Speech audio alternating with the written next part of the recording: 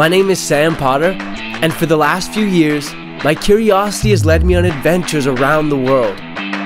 But more importantly than the adventures themselves are the people that they've led me to.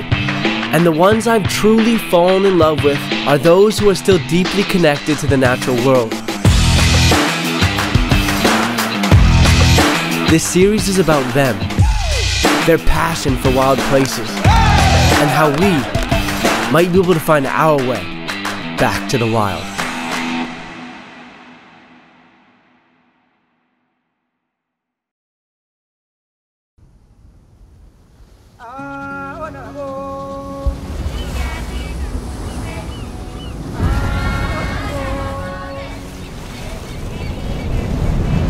After our time spent foraging with Roshana Gray, Koa and I chased a swell to Jeffreys Bay with a few new friends.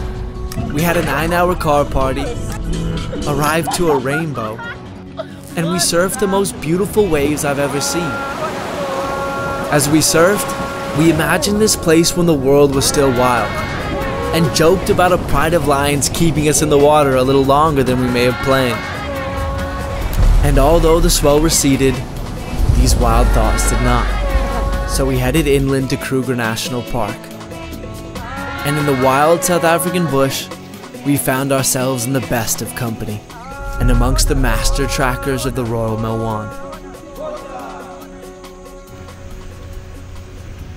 So there's myself, there's Jean, and then there's eight other rangers. And then we have uh, ten trackers.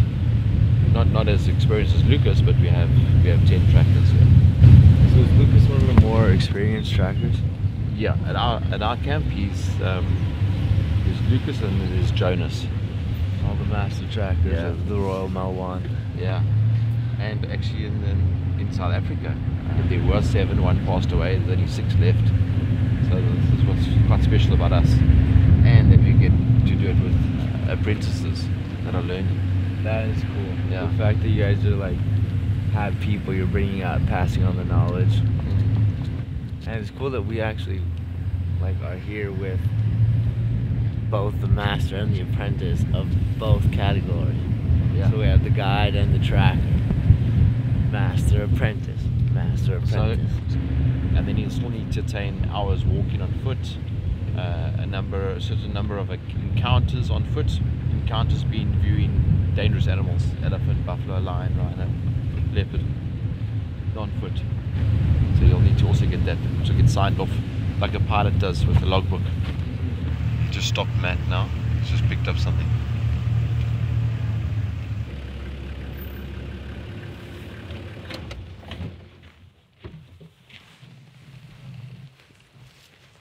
The three loop at the back, one, two, three.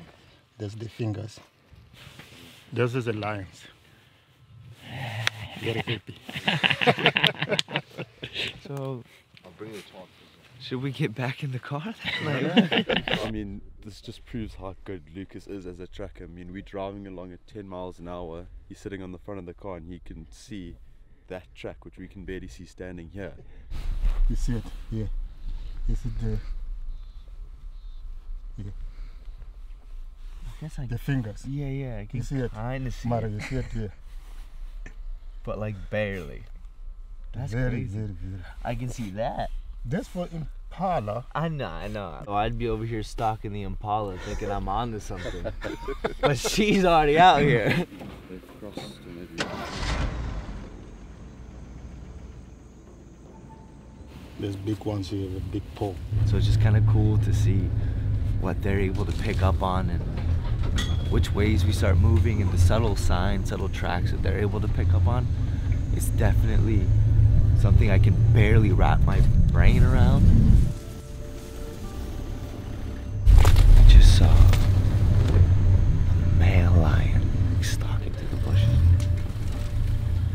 Guy's on the move.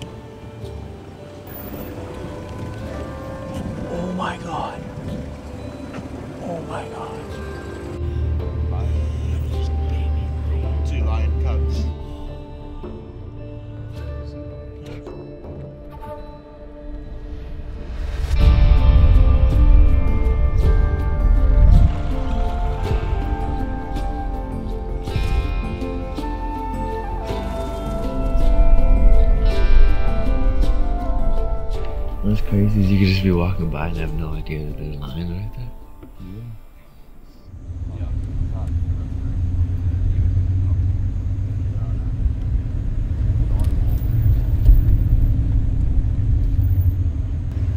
Big bull. Lucas pointed out this giraffe. Behind the tree.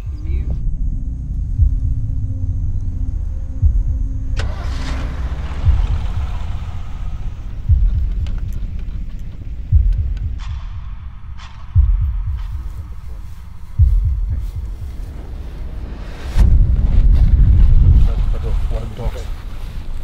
She moved that direction. We seem to have wild dog tracks and hyena tracks. And they're fresh too. Is it normal to see hyena tracks and dog tracks together like this? No. Right, we go around to the right.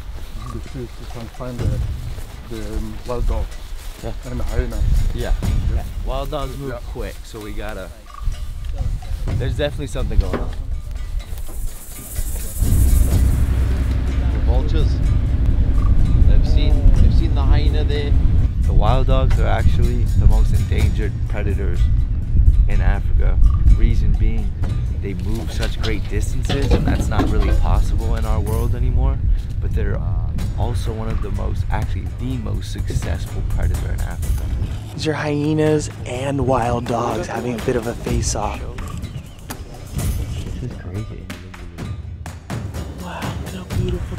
the dogs are. The hyenas are taking chances here. I think we're about to see a fight or something.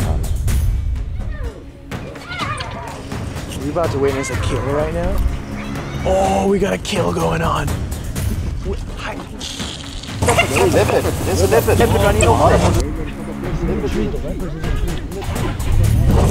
Leopards in the fucking tree! Leopards in the fucking tree! Oh my, I'm in the fucking tree! What is happening? What is happening? Okay, let's just break down what's happening. A leopard made a kill. We pulled up when these hyenas were jacking the leopard's kill. The leopard runs up this tree, sits there. All the wild dogs are jumping up, barking at the leopard. The leopard's like looking down at everything. But now we're witnessing two carnivores just hanging out with each other. Wild dogs and hyenas just kind of like sniffing each other out, checking each other out. Like, this is so strange and unheard of and lucky. Like, even these boys who spend every day out here are just in awe and blessed to be seeing this. Like, it's just, like, how rare is this? Hyena, wild dogs, the leopard, one place. This, it is magic. No. Yeah, exactly.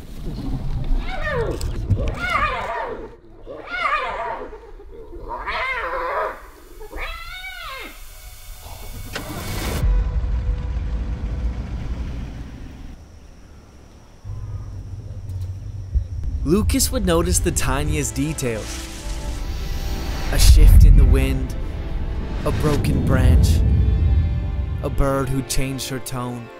He'd follow the tracks of all sorts of creatures. Some stalked, some scurried, but all of which told a story.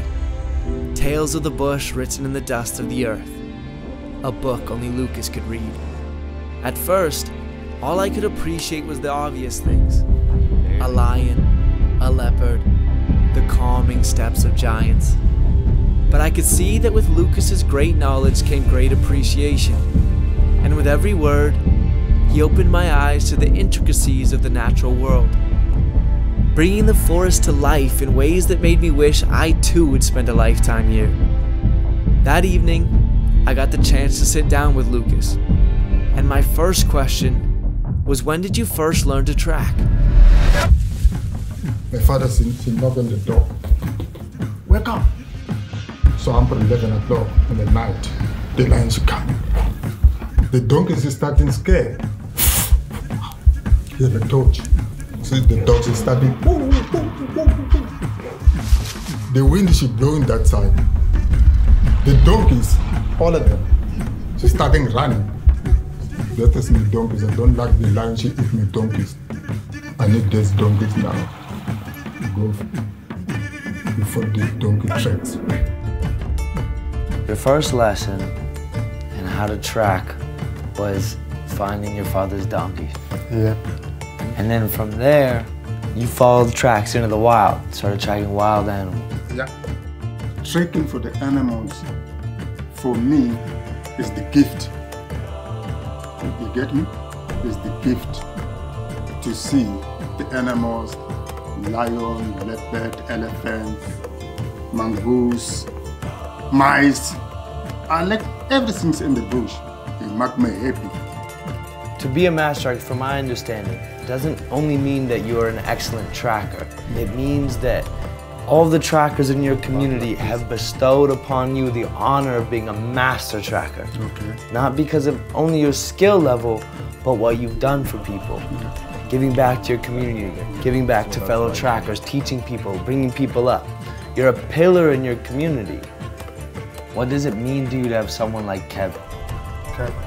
When someone because he, he obviously has a passion he has a heart he really wants to understand and to learn from you It's not very easy to get to master tracker. I need to him to grow up. There's something I'm, I'm having in this mind here. I want to give to him. Then I want to teach him. I'm not lying. I'm not joking. I want to teach him. and with that i convinced lucas to let us observe kevin's training session the following morning which i didn't realize meant we'd be entering the wild on foot a nerve-wracking idea which only got more unsettling as we woke up to the sounds of roaring lions want to fight you guys. Watch out, me. I'm very roaring. I'm the big one.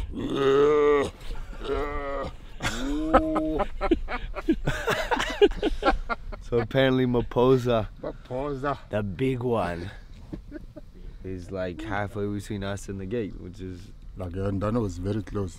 We are not getting into a vehicle. We have opted to walk through this game park on foot. We're gonna try to track down some lions, I guess. Golden rule in the bush: don't run. If anything happens, you stay behind me or Matt or Lucas.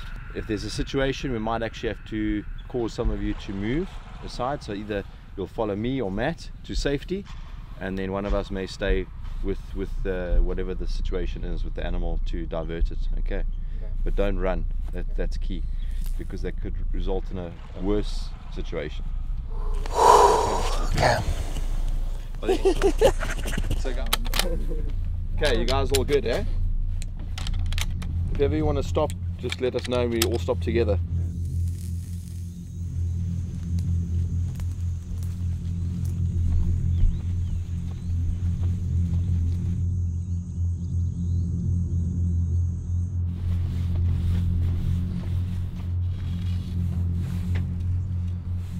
She coming here then she drink the water, little big water here.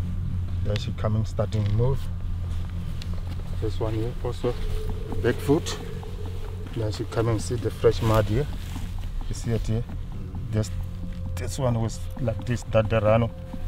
She take it off, little bit off. Then she move here. So is Yes, it a male or, or female? This is a male rhino. How long do you think the rhino walk here? Uh, I see the rhino, she walk here. Should be three minutes ago. You see it's very wet. The rhino starting here. That So big is guys. it more marking a territory here or Yep, it's yep, Oh, okay. yep. And she move that direction. Can we just take a moment to say, if we didn't have all these guys with us, we'd literally be petrified right now. It's difficult to follow the rhino, but the rhino is very clever. She walking like this, then she come back, then she walking like this, then she come back, then she shoot straight. What about when that Impala was making that noise? And he's like, yeah, that's not a good sign. Because lions hear that, and then they come towards that noise.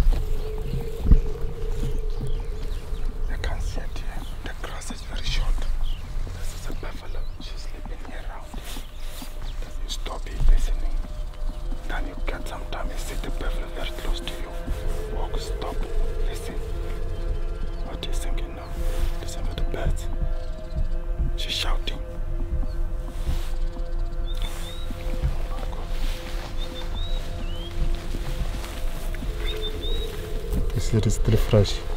Feel it. Mm. This is Rano. This is calling.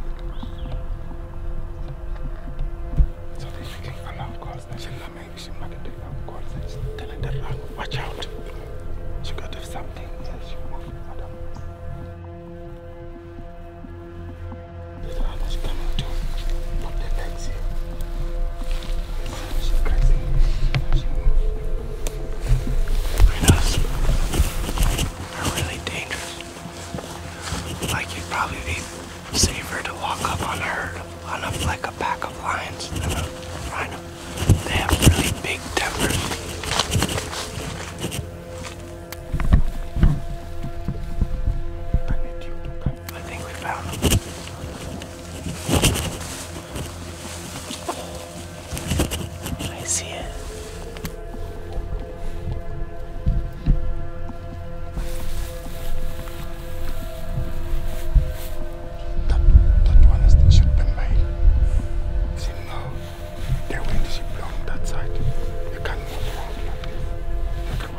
See you. She smell it. Don't see you in the eyes. The poor eyes. She uh, can stop very close for the white rat. The dangerous one is the black rat. She found the track the rat. Then she get it. I'm very happy to see that.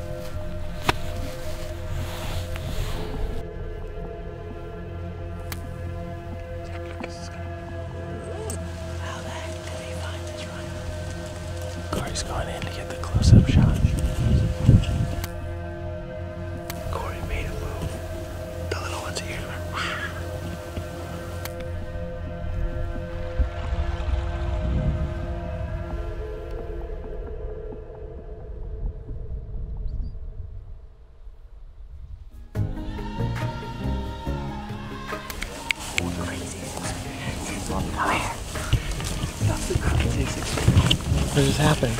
We like we crawled up. It was like proper like army stuff. Like we're army crawling. I got my camera and like he's giving us all these hand signals. Just like stared me in the eyes. And then like, oh, I just darted. Dude, and you could just feel like the dum dum Yeah. dum. Like you could feel it in your feet. Yeah. That was so crazy. Yeah. Cause I was like having to shoot with this, and I was like had to steady my breath. But I'm like, and I'm like, oh, I'm like, oh my god, oh my god, oh my god, oh my god, oh my god. You.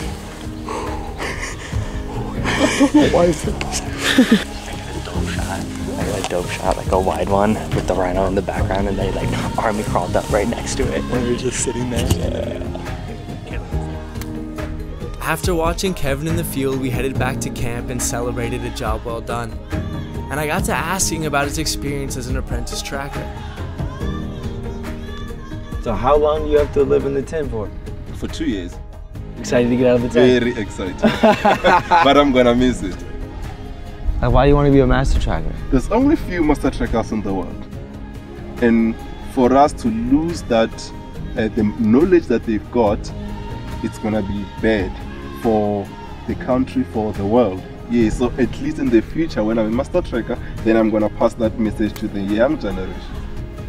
And it's gonna be all thanks to the master trackers that are teaching me, working with me every step to achieve my goal.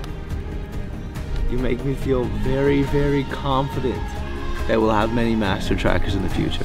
I Thank you so appreciate you. That's a promise. At the end, it's gonna happen. You think you'll be a master tracker? Kevin, one day then you come in again here. You say, what? You say, I'm master tracker. I say, eh, you joking? I say, no, not joking. Because it make me strong. It makes me proud. It make me happy.